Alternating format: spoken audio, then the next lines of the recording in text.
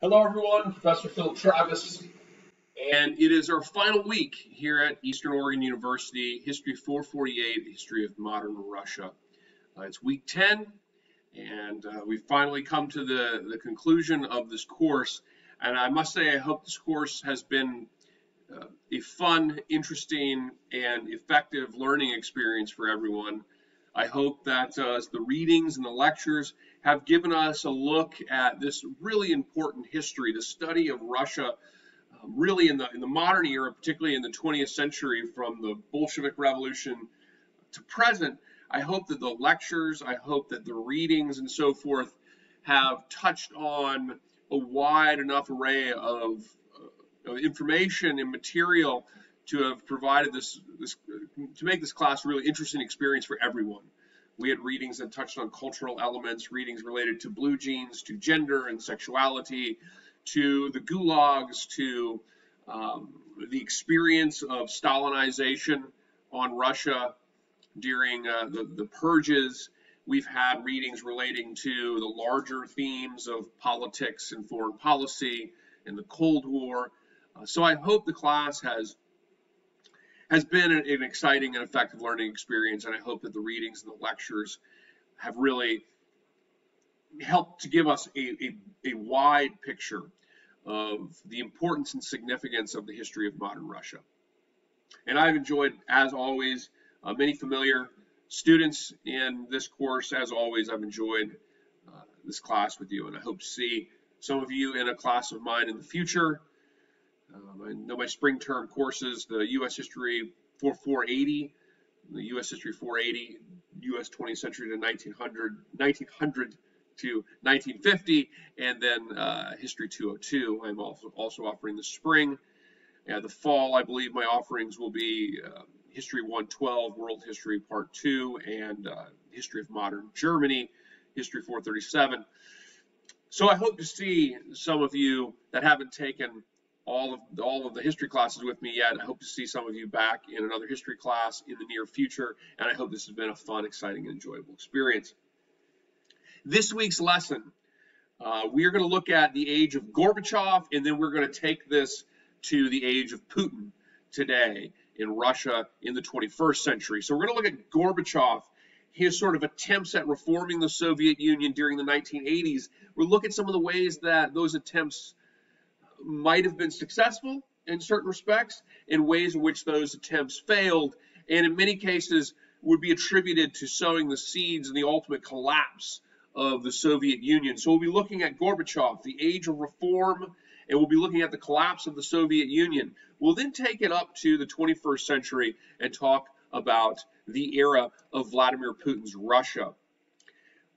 What we've really witnessed in uh, in this current period of time as we've witnessed Russia sort of reemerge on the world stage as a very significant, uh, if not controversial, international player.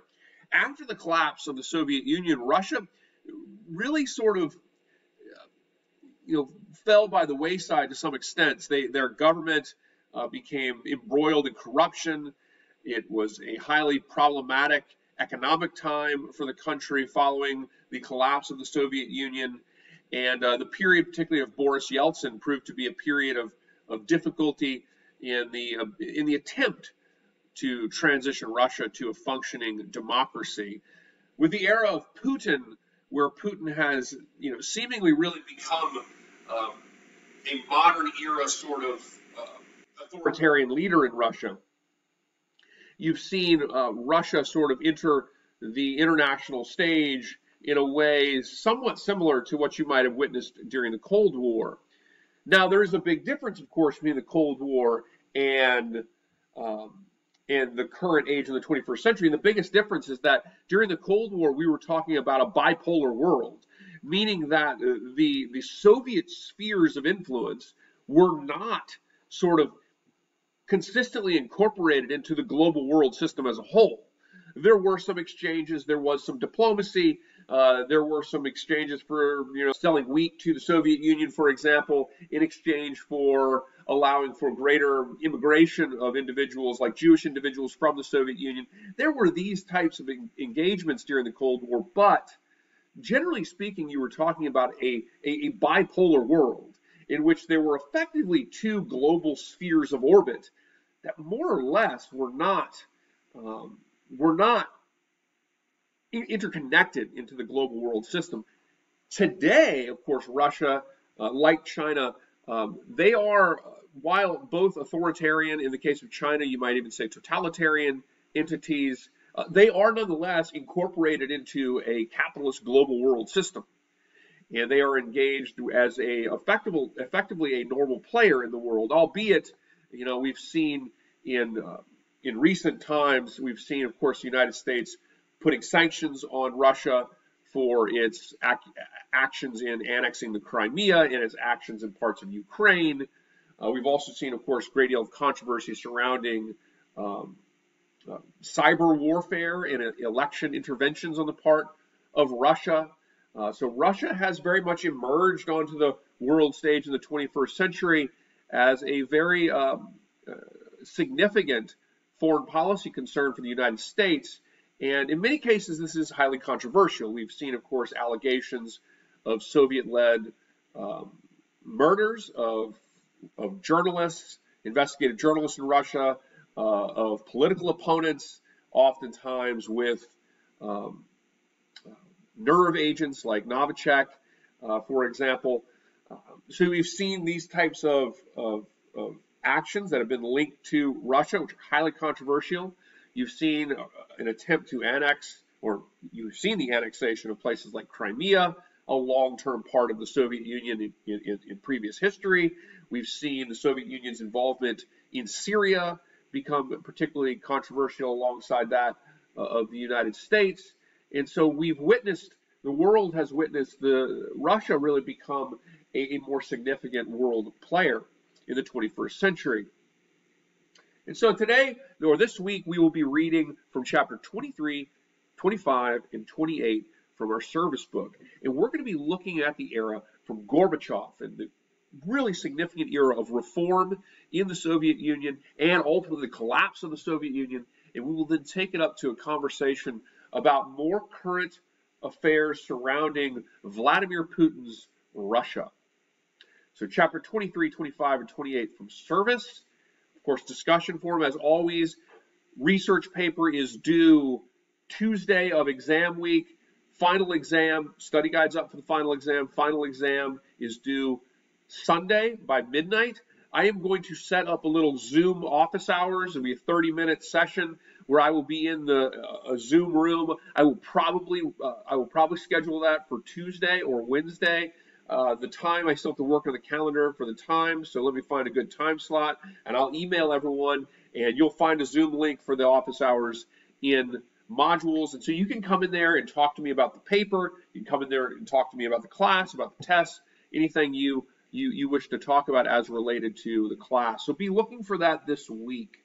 Uh, of course, I have my recorded lecture as always on Mikhail Gorbachev and Russia or the Soviet Union during the Cold War under Gorbachev's period of time. So this week, Gorbachev to Putin, our final week. I hope it's been a great class. I hope everyone's really enjoyed it.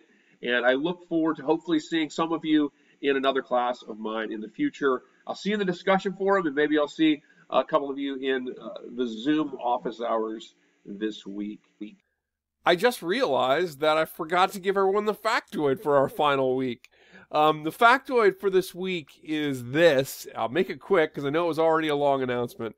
The factoid is this Pripyat, the ghost city that is associated with the nuclear meltdown at the nuclear reactor, the nuclear power plant, Chernobyl, which of course occurred in 1986 under the leadership of Mikhail Gorbachev, when there was a nuclear catastrophe, a meltdown and explosion at the Chernobyl nuclear facility located in northern Ukraine.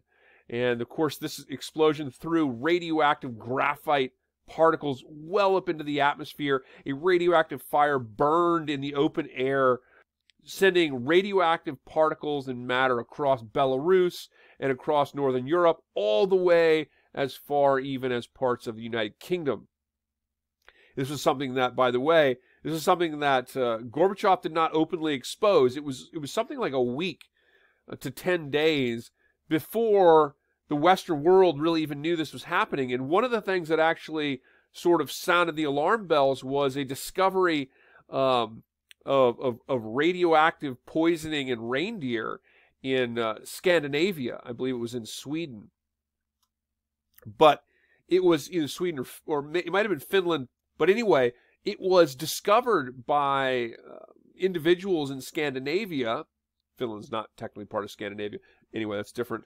Um, but it was discovered before Gorbachev had even acknowledged that this had happened. And um, so the Soviet Union under Gorbachev still was not fully transparent. Chernobyl was a massive nuclear accident. And today, of course, the Chernobyl reactor is covered by a massive sarcophagus, and they've recently put they've recently put a new, larger sarcophagus on the older one. In fact, to contain the radioactive material um, that is is escaping as as as as really there's still the smoldering radioactive fire there. As a result of that, the the city that was located adjacent to Chernobyl, to the nuclear power plant, was was Pripyat, and Pripyat was evacuated, and today it is a ghost city. And for individuals seeking sort of um, sort of off the beaten path, sort of like adventures and travel and history, Pripyat has become one of those locations that, that people like to travel to. Actually, you can't stay there. It's a it's a it's a ghost city, and it's uh, still obviously a great deal of radioactive contamination uh, remains at Pripyat, uh, which was the city evacuated following the nuclear catastrophe at the Chernobyl reactor in Ukraine, which occurred in 1986 when a test, a nuclear, a normal test on the nuclear power plant plant went wrong and caused a massive, a massive nuclear catastrophe. Today, only rivaled by the Fukushima Daiichi accident in Japan um, in 2011. So, factoid for this week, sorry, long announcement Pripyat in northern Ukraine, uh, the city that is today a ghost city and a, uh, a reminder of of the of the catastrophe at the Chernobyl nuclear reactor under Gorbachev. Let's have a great week, everyone. Email me that back to no later than Wednesday by midnight. Let's have a great week. Hopefully, I'll see some of you in the Zoom office hours. Thanks, everyone.